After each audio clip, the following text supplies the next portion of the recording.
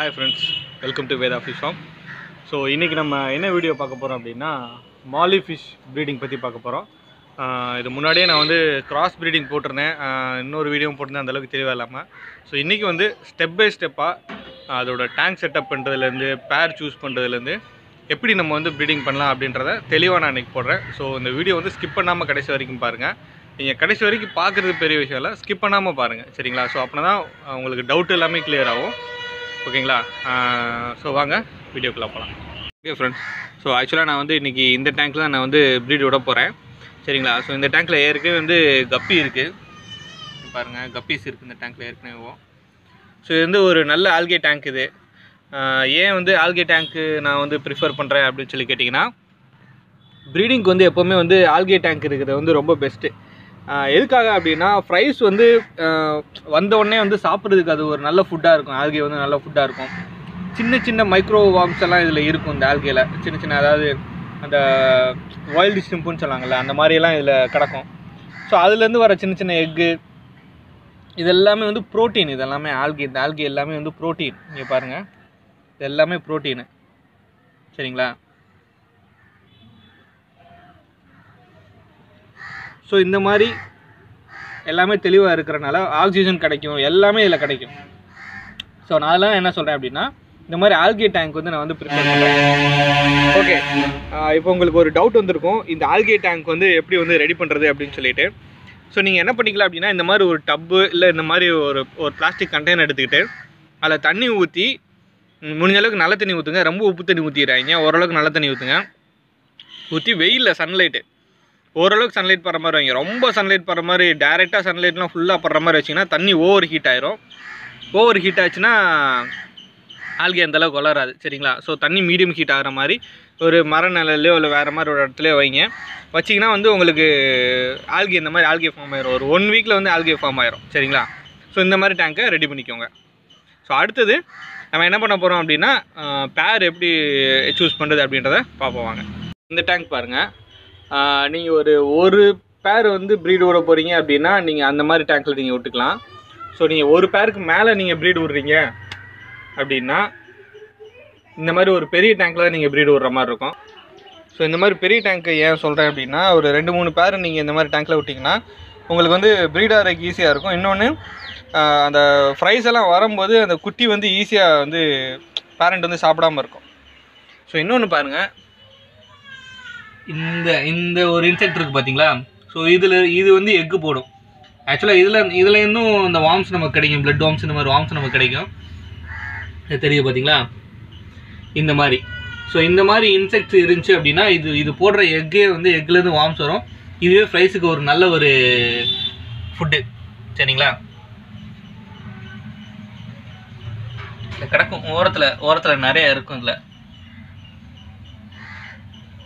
Okay okay friends இப்போ நம்ம என்ன பண்ணிக்கலாம் அப்படின்னா நமக்கு தேவையான ஃபிஷ்ஷை வந்து எடுத்துக்கலாம். சரிங்களா? ஸோ எடுத்துகிட்டு நான் அப்புறமா ஜெண்டர் செலக்ட் பண்ணுறது எப்படின்றது நான் உங்களுக்கு சொல்கிறேன் ஸோ நான் இப்போ என்ன பண்ண போகிறேன் அப்படின்னா ஒயிட் மேலேயும் பிளாக் மேலேயும் ப்ரீடு விட போகிறேன்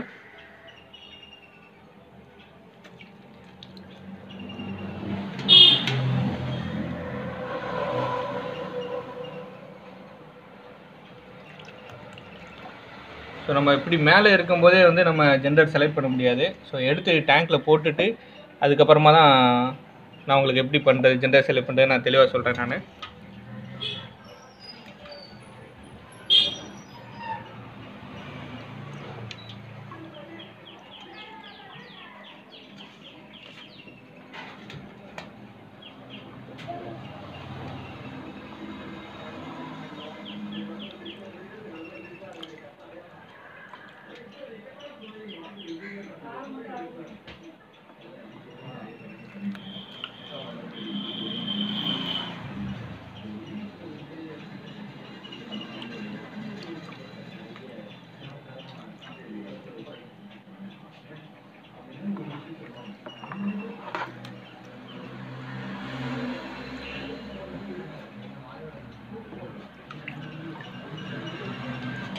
ஓகே ஸோ நமக்கு தேவையான fish வந்து பிடிச்சாச்சு.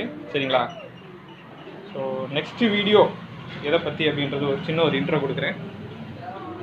ஏஞ்சல் ஃபிஷ் பற்றி தான். சரிங்களா? ஸோ இதான் என்னோட ஏஞ்சல் அக்வாரியம் பாருங்கள் எப்படி இருக்குன்ட்டு. ஸோ மறக்காமல் பாருங்கள் என்னோடய நெக்ஸ்ட் வீடியோ வந்து ஏஞ்சல் பற்றி தான். சரிங்களா? இப்போ வந்து நான் வந்து மாலியில் வந்து எப்படி ஜெண்டர் ஃபைன் பண்ணுறது அப்படின்றத நான் தெளிவாக சொல்லிடுறேன் நான். சரிங்களா? ஒரு மேல் ஃபிஷ் எப்படி நம்ம கண்டுபிடிக்கிறது அப்படின்னு சொல்லிட்டு சொல்கிறேன் இப்போ மேல் ஃபிஷ் எடுத்துக்கிட்டிங்கன்னா இங்கனக்குள்ளே வாலில் பாருங்கள் இந்த இடத்துல ஒரே ஒரு சின்ன ஒரு ஃபின் வந்திருக்கும். சரிங்களா? பாருங்க.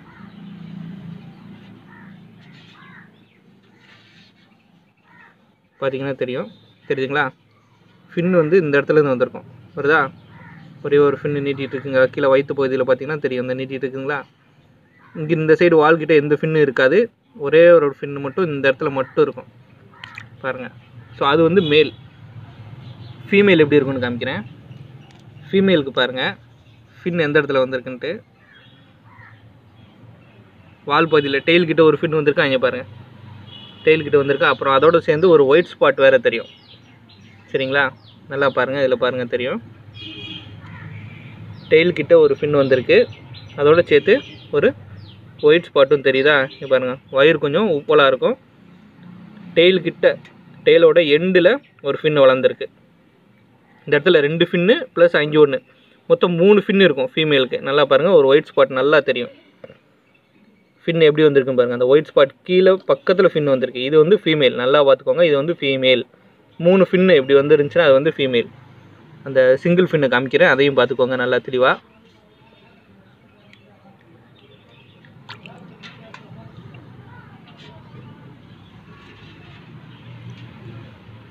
இதில் பார்த்தீங்கன்னா தெரியும். ஒரே ஒரு ஃபின் தான் வந்திருக்கு பாருங்கள் டெய்லோட எண்டில் ஃபின்னே இல்லை. ஒரே ஒரு ஃபின் மட்டும் வந்திருக்கு. தெரியுதுங்களா?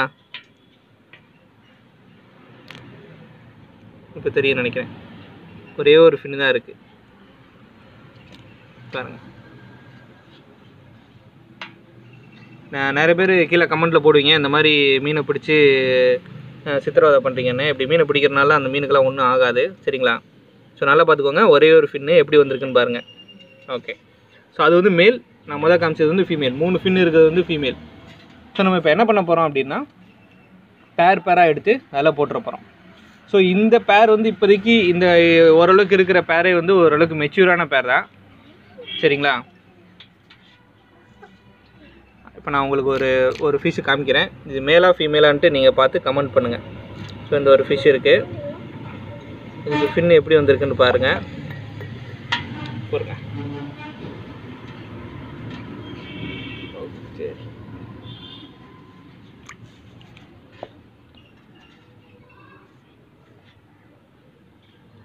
ஓகே இந்த விஷயம் பாருங்கள் இது வந்து மேலா ஃபீமேலா இந்த ஒயிட் மாலி வந்து மேலா ஃபீமேலா அப்படின்றத எனக்கு கீழே கமெண்ட் பாக்ஸில் கமெண்ட் பண்ணுங்கள் ஓகே ஃப்ரெண்ட்ஸ் இப்போ பாருங்கள் இந்த டேங்க் தான் நான் ப்ரீட் போகிறேன் சரிங்களா? இது ஒரு ஃபுல்லாமே வந்து ஒரு ஆல்கே டேங்க் இது.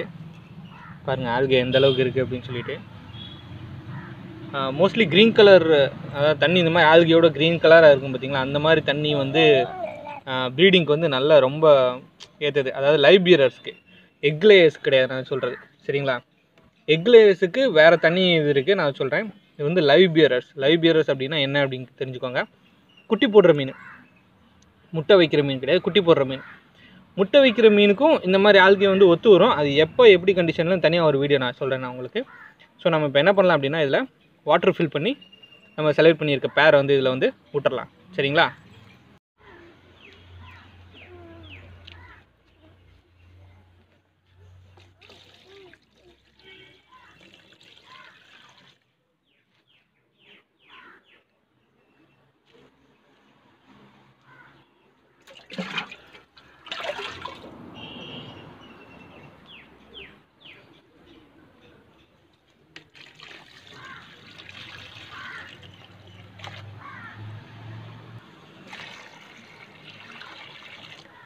ஸோ இப்போ இதில் ஃபுல்லாக வந்து தண்ணி ஃபுல்லாக நிரப்பிட்டேன்.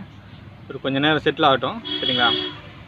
ஸோ செட்டில் ஆனதும் நம்ம இதில் என்ன பண்ணிடலாம் அப்படின்னா ஃபிஷ் எல்லாமே விட்டுறலாம் ஃப்ரெண்ட்ஸ் தண்ணி ஓரளவுக்கு செட்டில் ஆயிடுச்சு நான் இப்போ என்ன பண்ணியிருக்கேன் அப்படின்னா இதில் வந்து பிளாக் மாலிஸ் விட்ருக்கேன் சரிங்களா? உங்களுக்கு இதில் தெரியாது. ஓகேவா ஸோ நான் வந்து ஒரு மேல் ரெண்டு ஃபீமேல் மாலி இதில் விட்ருக்கேன் சரிங்களா? அப்போ தான் வந்து ப்ரீடிங்க்கு வந்து ஈஸியாக இருக்கும். நீங்கள் என்ன பண்ணிக்கோங்கன்னா ஒரு டூ த்ரீ டேஸ் கழிச்சு வந்து இதில் வந்து பிளான்ஸ் லைவ் பிளான்ஸ் நிறையா போட்டுக்கோங்க. அப்போ தான் வந்து உங்களோட ஃப்ரைஸை வந்து அந்த ஃபிஷ்ஷஸ் வந்து ஈட் பண்ணாமல் இருக்கும். அந்த பேரண்ட் வந்து சாப்பிடாம இருக்கும். அடுத்தது நீங்கள் இதில் கிராஸ் ப்ரீட் பண்ணனாலும் பண்ணலாம். சரிங்களா? ஸோ ஒரு ஒயிட்டு பிளாக்கு இந்த மாதிரி கிராஸ் ப்ரீட் பண்ணாலும் பண்ணலாம். அப்படி கிராஸ் ப்ரீட் பண்ணுறப்ப உங்களுக்கு வந்து சிக்ஸ்டி ஃபார்ட்டி சான்சஸ் வரும். அதாவது சிக்ஸ்டி பர்சன்ட் வந்து ஃபீமேல் மாதிரி வரும். ஃபார்ட்டி பர்சன்ட் வந்து மேல் மாதிரி வரும். அது சான்சஸ் வந்து அந்த மாதிரி இருக்கும்.